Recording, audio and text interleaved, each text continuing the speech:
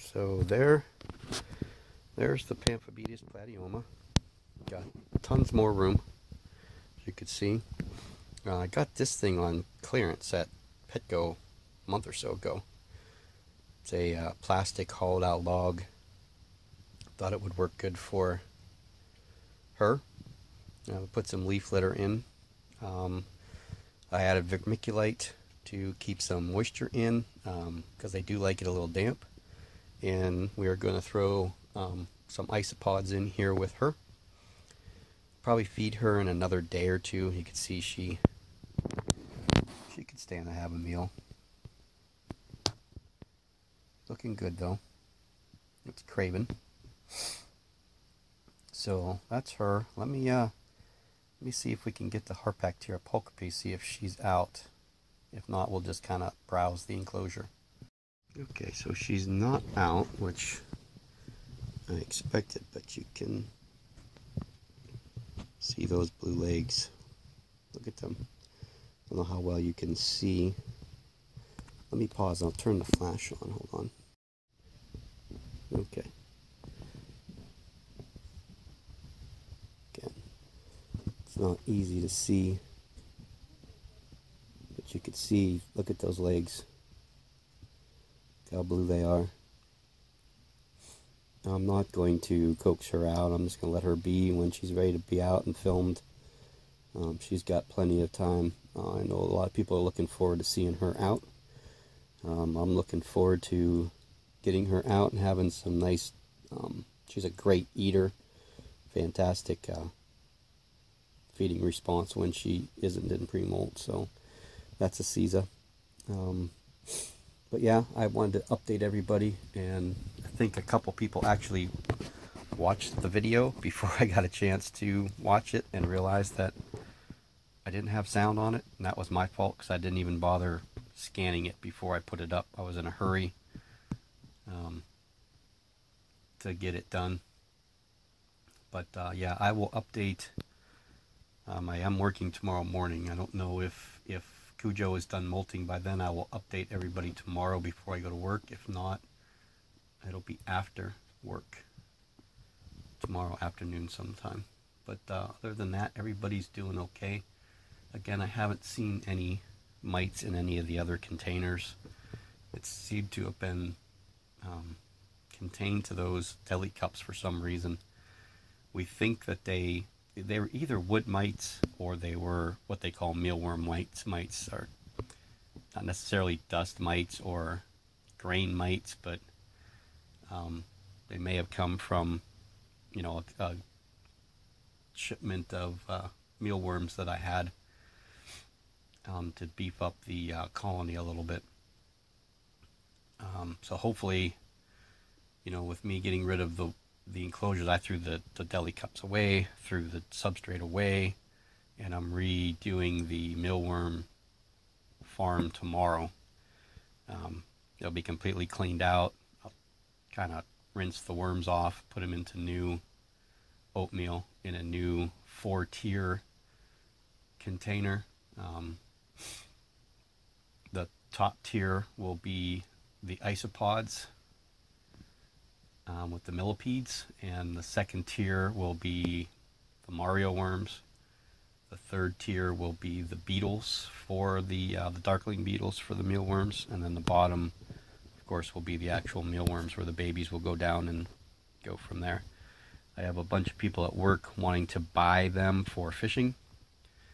So I think I have probably, I would say three or four hundred of them right now with about 20, 25 beetles. So, you know, I should have, you know, within a month I should have a thousand again. So be right close for trout fishing time here in Erie, in Erie County.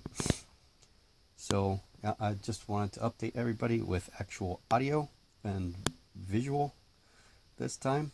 So you can actually hear what you're seeing instead of looking at uh, pictures of something and you have no idea what's going on. And then, of course, when I did the Cujo thing, I had the camera the wrong way, so it was it was vertical instead of horizontal, which I hate.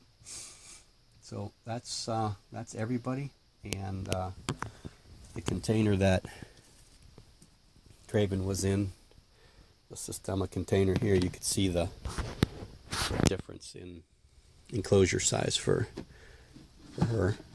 Um, I think she probably could have stayed in that container for a molt, but you could see how much more room she has now. So she's going to be good in there for a good while. And um, I got to figure out who is going to go in there. Probably Lincoln, the Brachypelma albopilosum. I think he is the biggest out of the teas that are up top in the containers in the back here. You can see the containers in the back. There, these ones aren't a, a huge difference in size, but big enough. Um, uh, that one also might be a candidate there.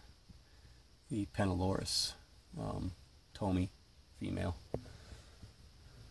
Uh, here is my. I did tell you, I don't know if I did tell you, but uh, I did find out that Diablo is definitely a mature male, a Pyraminia. I did see the hooks and the emboli last time uh, he was actually out, out, finally. Um, so he's going to be going off. There's a, you got a roach and a beetle in there that I'm going to try and get out here tonight. Um, Diablo used to love eating these darkling beetles, and I don't know why, there's not much to them, but he was one of the only tarantulas that would eat them. There's some, uh, you see that you don't get to see this one often, so I'm going to showcase them just a little bit longer. That's Pharaoh. That's the Chaetopelma olivaceum, the Israeli black. And that's also a candidate for uh, an upgrade. You can see it's just in like a fruit. I think there was watermelon cubes in this thing. I thought that, you know, I got them, ate them at work. I was like, oh wait, I'm not going to throw this container away. I'm going to use it. Um, these Sistema containers here, I have two more small ones, so I may move Pharaoh into one of those. Um, and then there is one of the snaptites. That's the male polka, pul uh, pulcher. And the female is in a container like this. Where is she? Right there. Still. She's going to move into one of those. And here's the Urinensis. Still in avicularia. Still probably hiding down in the log. Um, I'm not sure. I have a tall, okay, like these containers there. I got one of those, but it's 15 inches tall. I can't remember how wide. There's Panther. I can't remember how wide they are, a little wider than that, but I cut the cover and I'm going to hinge it and that's going to be an arboreal container. So I had two choices well, three choices of who I was going to put in there. The Urinensis, because she's a female, was one candidate.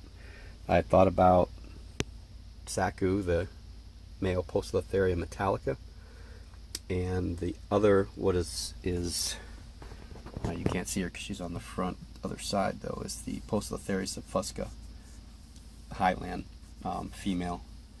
I was thinking about putting her in there but it probably will end up being the Uranensis is probably going to go in there um, just because I just love that spider. It's nice and brown and fuzzy and uh, I could do a lot with leaving and put a different piece of cork bark in there than that thing that's in there. I can use that for somebody else so that we can see it more often and uh, I got to do vent holes for it and glue the hinges onto it and then make a latching pin for it. Um, so yeah, that's that's going to be coming up soon, and that'll probably be right around the time that that one's ready to transfer and, and eat. There is, you can see him there. There's Apex, King Baboon. back there, I don't know if you guys could see, you can see just a shadow. That's Norman back there, the Pulcher, Pulchra.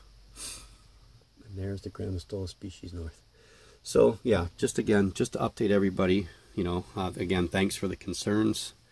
Um, Dave Scott and Glenn Solva and a couple other people that saw the uh, the mites the first time, and then the second time there was even more.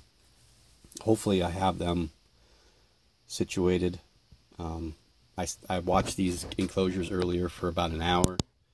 Stuff in here and uh, the couple baseball cube guys down there. I didn't see anything in their enclosures, but again, I may need to just like take a couple of them and then film them for 10 minutes without even looking at them and then just look at the footage and see because then, you know, there's no other focus. I'm not looking at anything or talking or anything else. Oh, and here is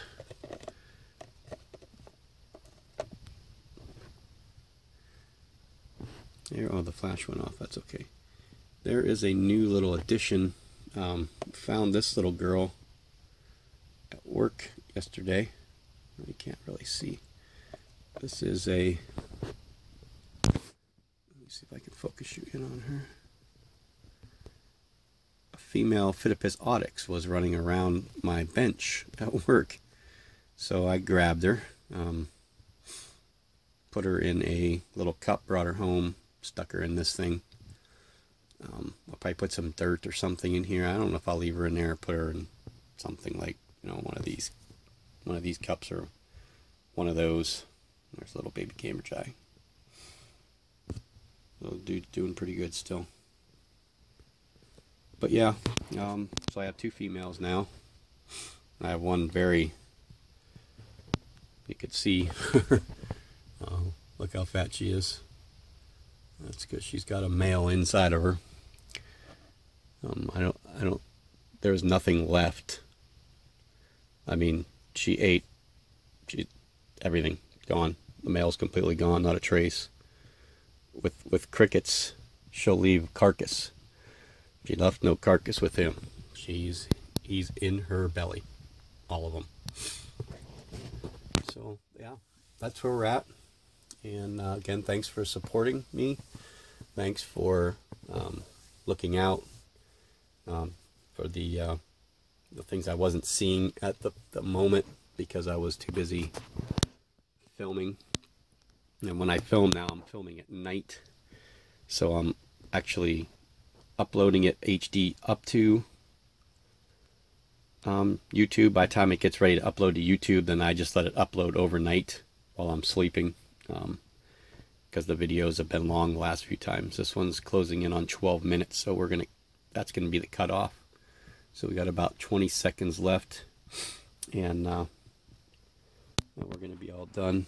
Inside there is the Eupalaestrus campestratus.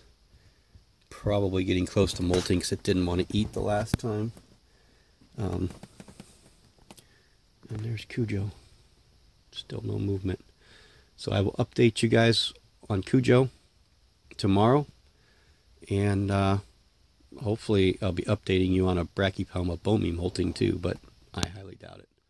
So have a good night, and we'll see you guys soon. Thanks for watching.